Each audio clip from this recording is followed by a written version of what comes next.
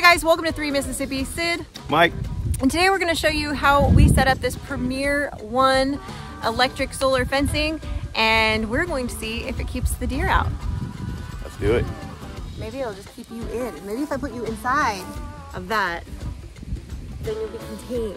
What if I put baby in the corner? Nobody puts baby in the corner. All right.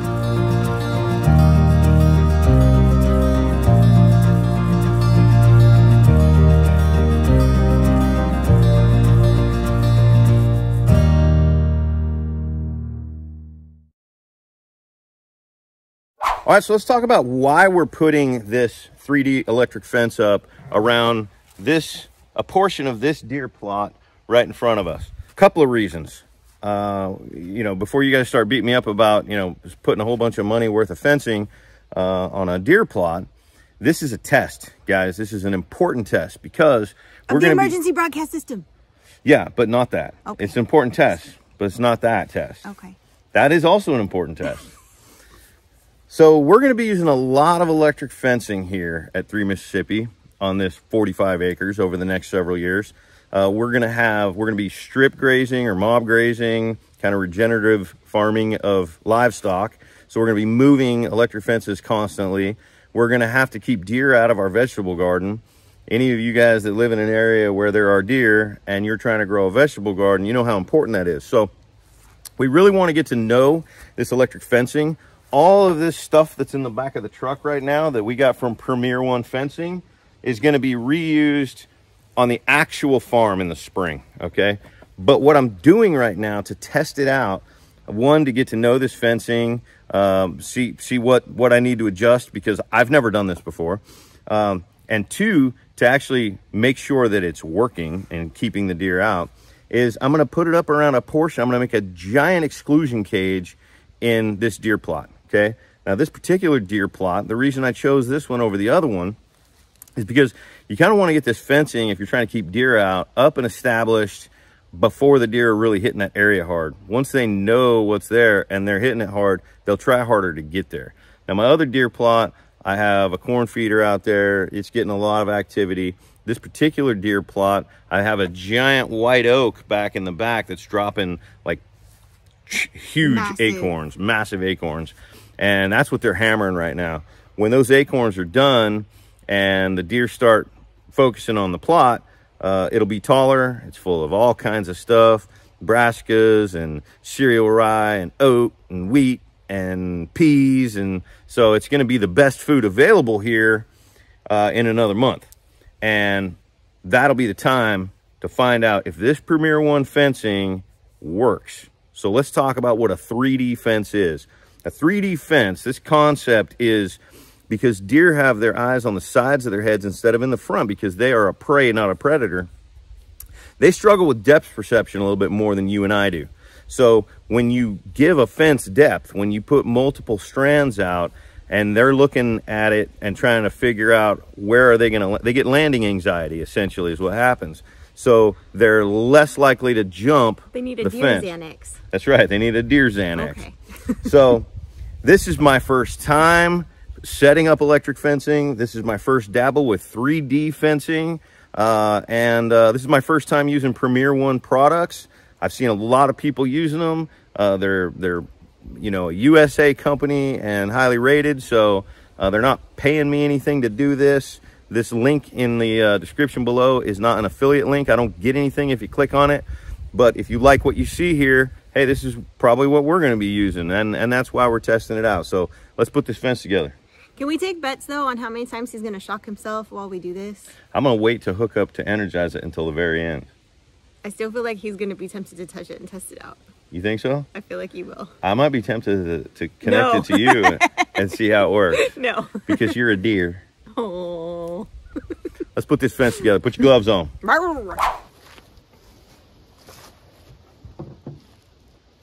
All right, so I brought some uh, T-posts. And we're going to use those for corner posts to kind of hold, be able to hold the tension of the uh, of the lines. And then we got all these fiberglaze, fiberglaze, fiberglaze. We got. Fiberglass. What are going to use the fiberglass rods. Fiberglass, yeah. So I got two different lengths of fiberglass rods, and that's what we're actually going to use That's what she said. to hang our IntelliRope, our electrified fence line on. So I guess the first thing to do is to set some fence posts. Okay.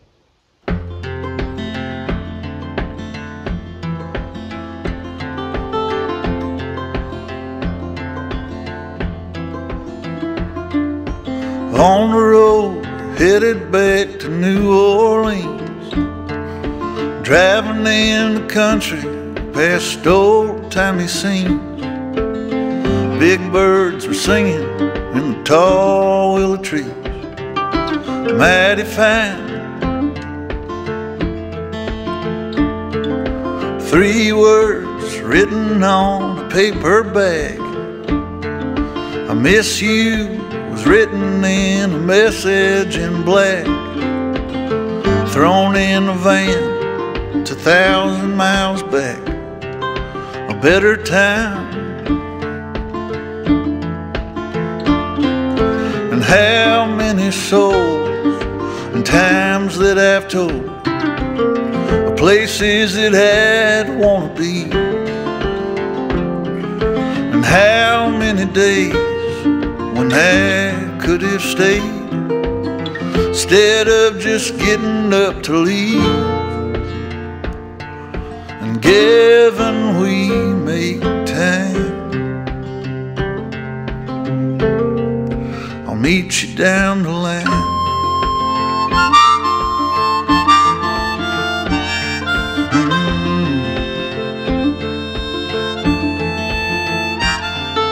A long coat walking on a New York street. A pack of crushed cigarettes that fell to her feet. Well, ain't it odd how some people meet? That's the truth. And two pictures buried in a guitar case. Underneath the music sheets all over the place, I caught a glimpse of the sweetest girl's face I ever knew. And how many souls times that I've told of places that had like to be. And how many days when I could have stayed instead of just getting up to leave. And given we make time, I'll meet you down the line.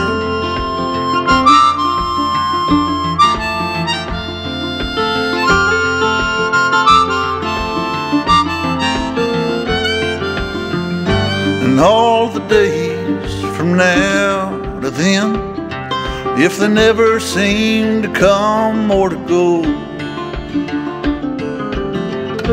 find me in your memories that keep you from getting so low. And given we make time. Meet you down the line. Down the line. We'll meet up down the line. Down the line.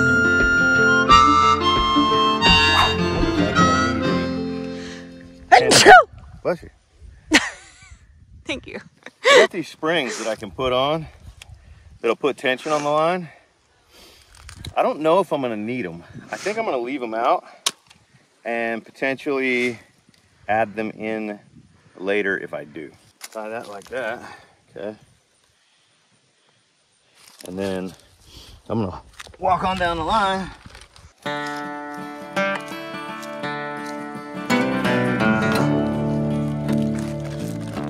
Come on. Pretty cool connectors. They just screw open, slide right over the post like this. Gotta put one down at the bottom, one at the top. and the warning of hell. But take heed where you ramble, or too soon you will go. One for the bottom. It's like Connect Four. Remember that game?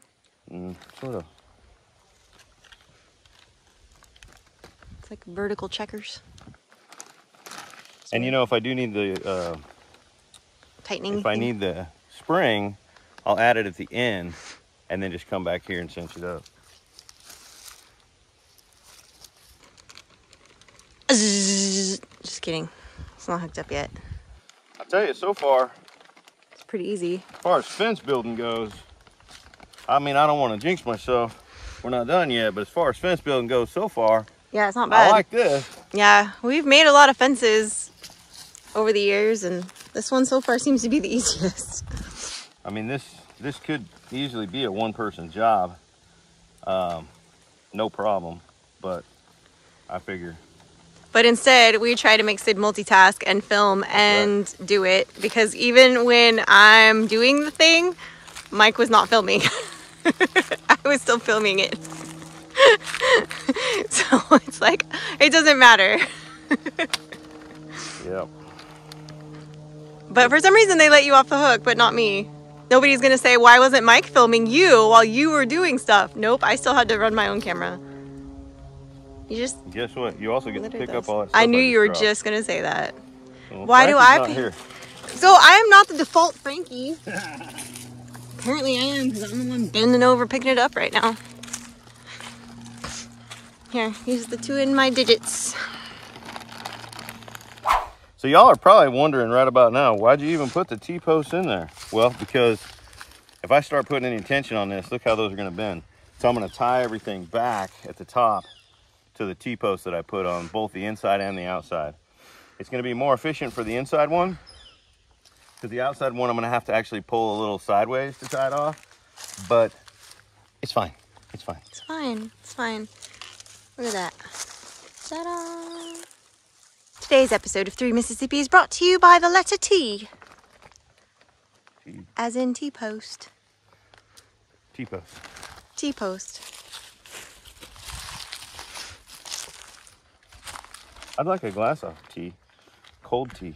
Nope. It's so warm today. It's actually not that warm, babe. It's like 60 warm. or 65. But then you get like a chilly breeze through here once in a while. That's and it's off and on sunny. Right now it's overcast again. But that's all right. We will survive.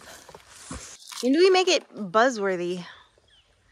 Like- you mean electrify it? Yeah, When we're buzzworthy. done? Yeah, but when is that going to be? Like I don't under, I don't know what the Donkey. Donkey. The land of far, far away means it's far, far away. You just called your wife a donkey.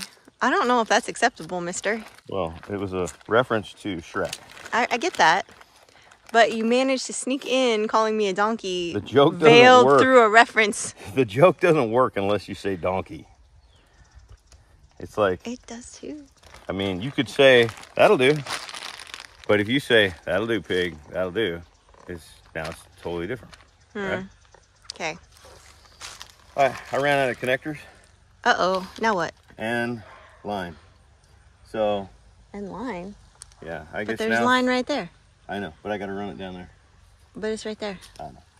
I don't understand. I got to go get more connectors. And you got to drive in more posts. You told me I was done. The outside posts. I don't understand. What do you mean an outside? fence.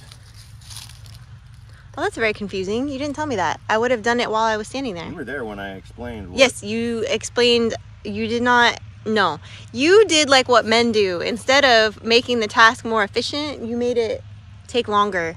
You could have said double up a foot apart or whatever on each side of the, the rope line, and then I would be done. You're a bad man.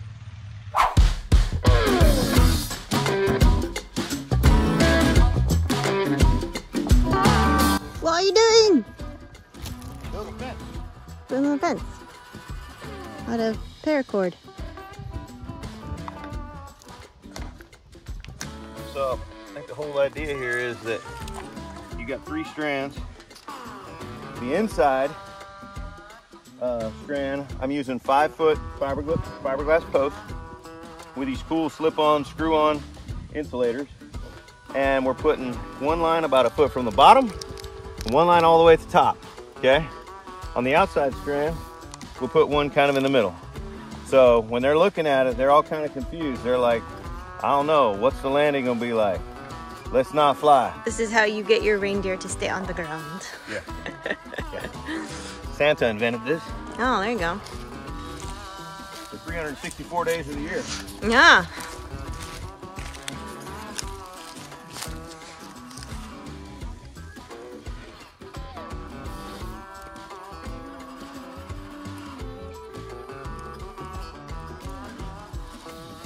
I may come back and add another T-post to the outside. We'll see.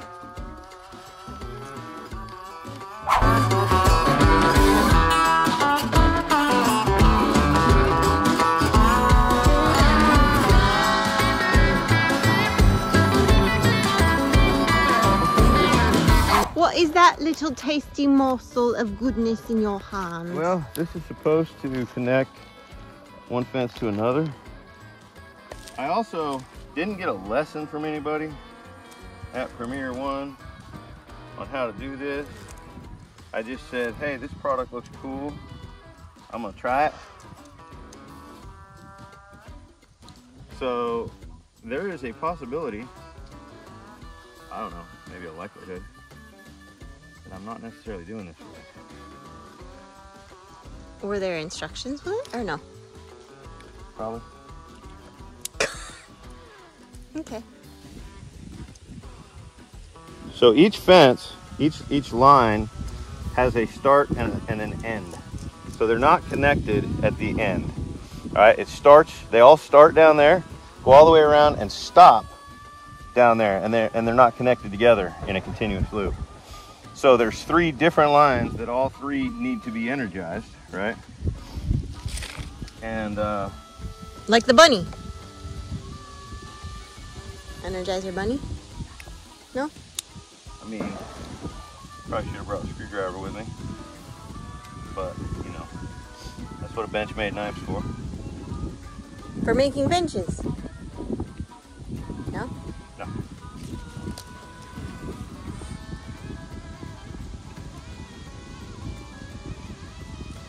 That's a wing nut. You ding that.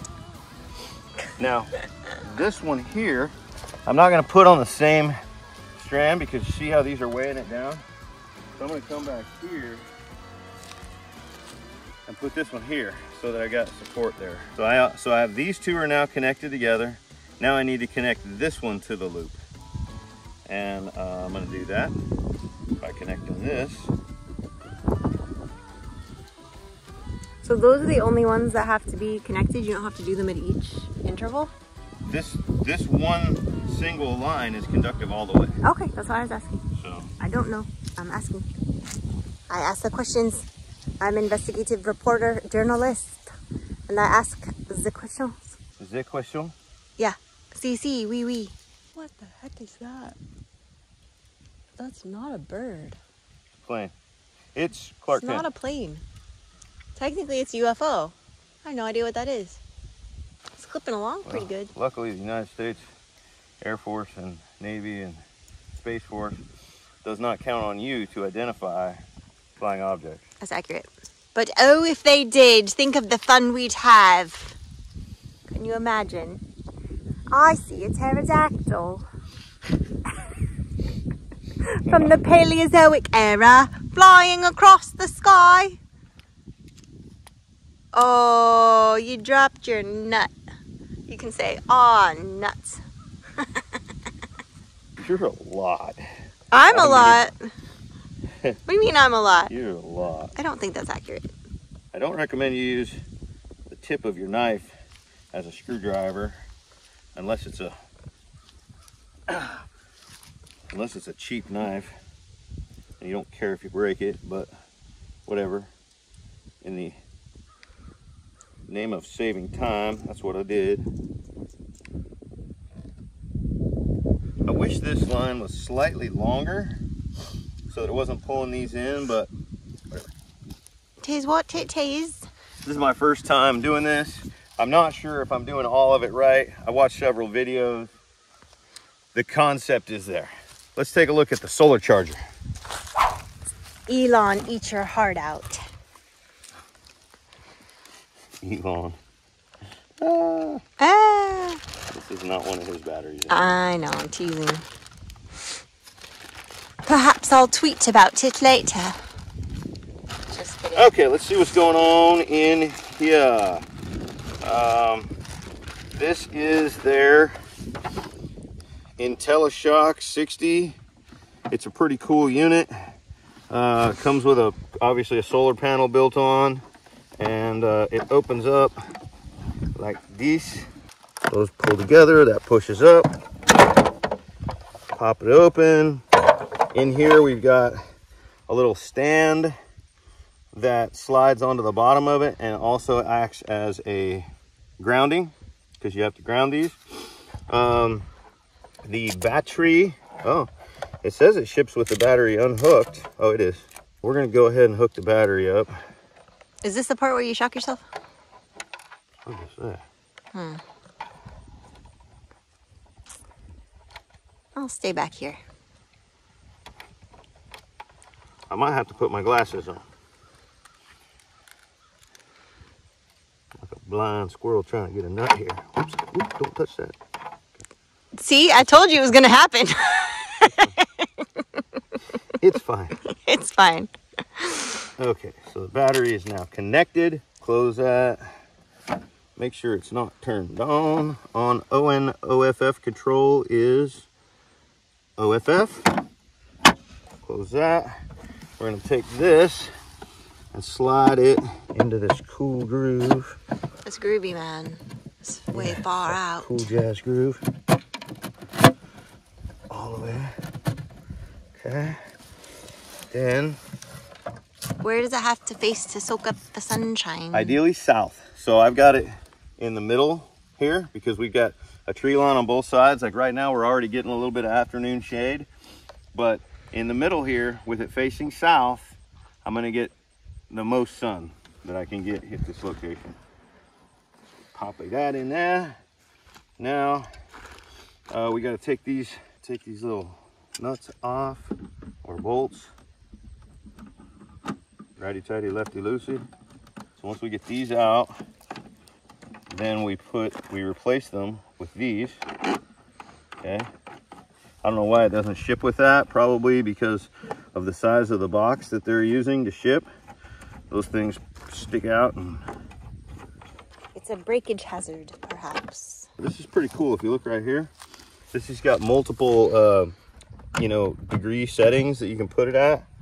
You know, the sun's farther south in the winter, so I think that's probably pretty good right there. I wouldn't want to point it straight up in our area.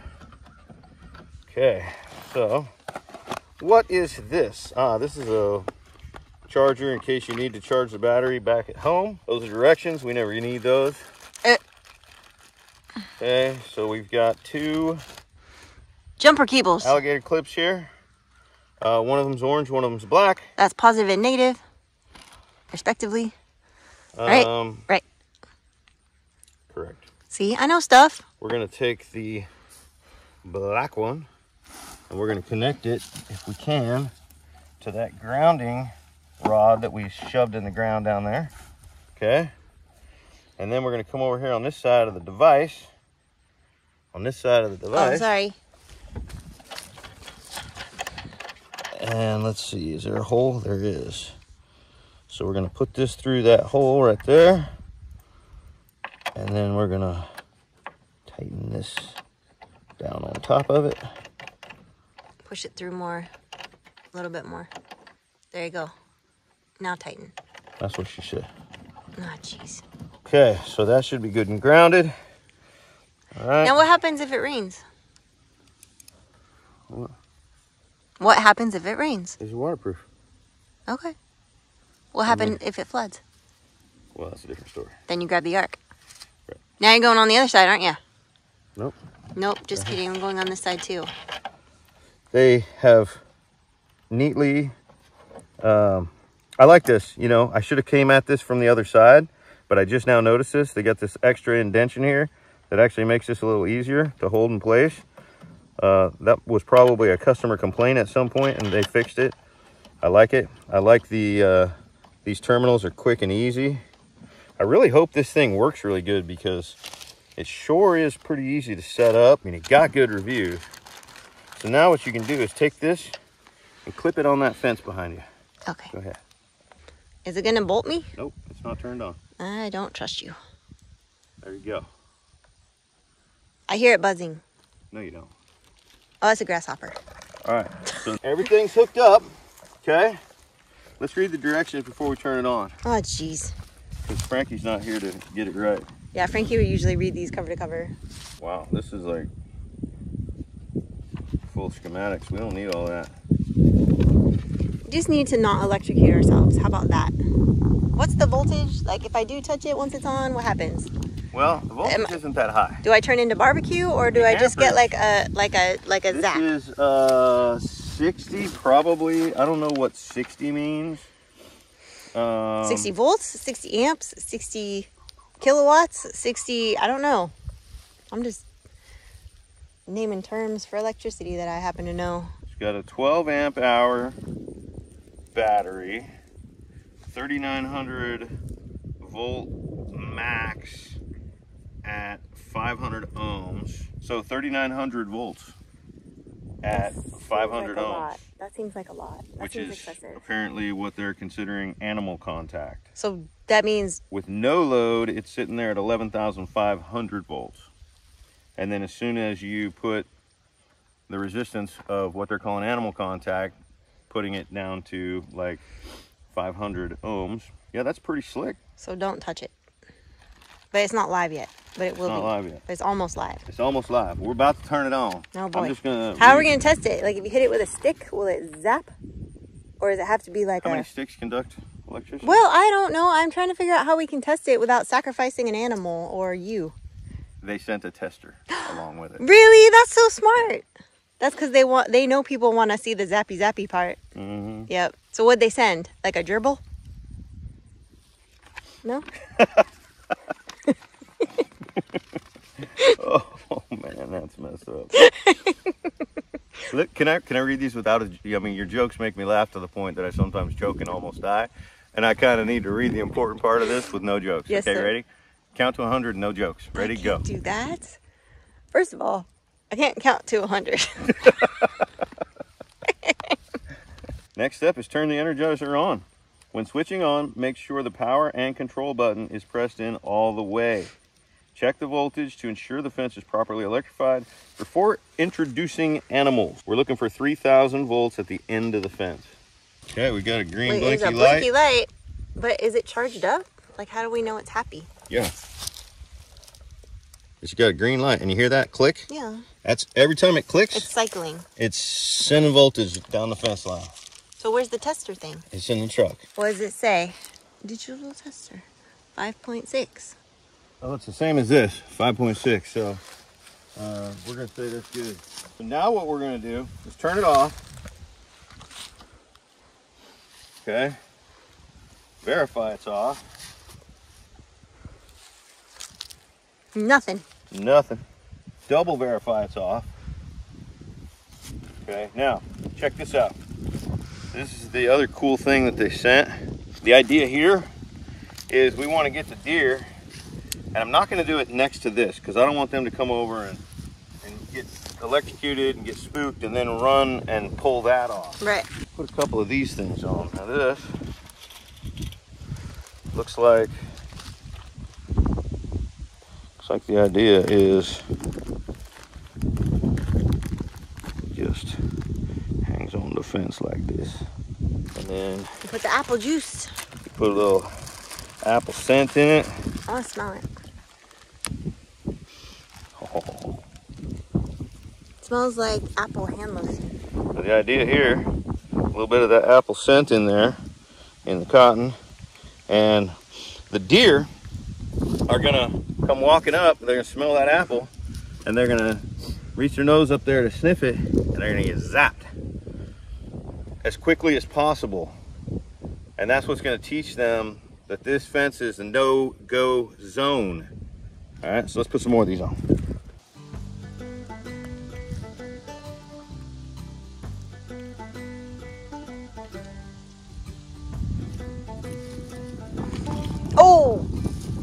That happened. I couldn't warn you fast enough. I'm gonna check it again, make sure it's back on okay. So he's got his little bottle caps on there now with the apple scent to get the deer to understand this is a no-go zone, so they'll leave it alone. Yep. And it's working. We got voltage on the fence. Yeah, careful. You're making me nervous. You're making me nervous. Ugh. Yep. Cool. So there it is, guys. That was us setting up this 3D fence from Premier One Fencing. And uh, I really hope this fence does what we're trying to do. I'm looking forward to finding out. The setup was great. Uh, this is the easiest fence I've ever put up. And um, I like that everything's reusable. It's kind of temporary. We can move it from one place to another place. We can put in more T-posts if it's a more permanent install, like around the garden. Uh, so I'm really looking forward to seeing if this thing can keep the deer out of my cereal rye and brassicas as a section, as a, you know, kind of a big exclusion cage in the food plot here. And that'll really tell me, you know, what we're gonna do on the main farm around the garden and around the animals come the spring. So this was fun. This was a good setup. It was a good learning experience for me and, uh, and for Sid. And I think we're ready to rock. So, you know, when it's, when, it, when it's about a week from when I'm gonna hunt this spot, uh, I'll come and pull this down and there should be a big old giant salad bar there for the deer. And, you know, then we put deer meat on the table. So thanks for watching, you guys. Uh, don't forget to like the video, subscribe to the channel. Check back because we're going to give you updates on, on how this is working. Thanks for stopping by. See you on the next one.